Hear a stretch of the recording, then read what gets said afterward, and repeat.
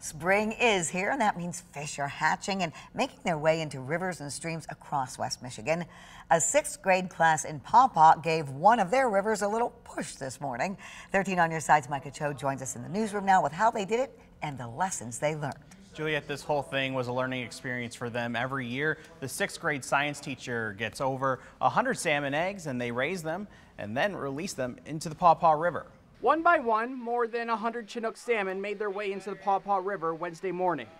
And it was pretty cool. I learned a lot about our wildlife and I also learned about why it's so important to keep our wildlife safe. The annual release is a project done by the Paw Paw Middle School sixth grade class and teaches the importance of conservation, habitat, and natural resources. This year, the Department of Natural Resources provided 150 salmon eggs to the sixth graders, where they watched them grow, eventually leading them to the river about two miles away from school. Liam Pysick released his early in the morning.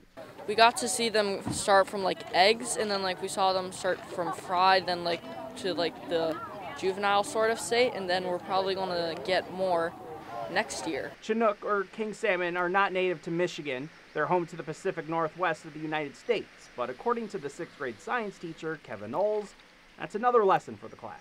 The salmon are brought in in the 1960s actually to combat an invasive species, the alewives, from the Atlantic Ocean.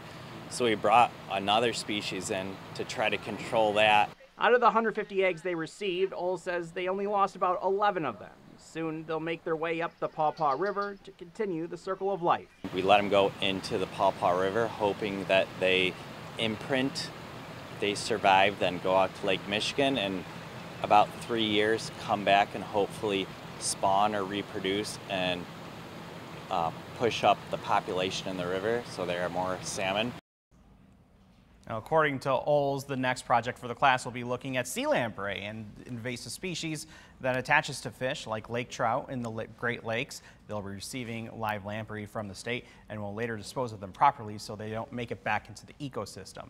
In the newsroom, Micah Cho for 13 on your side.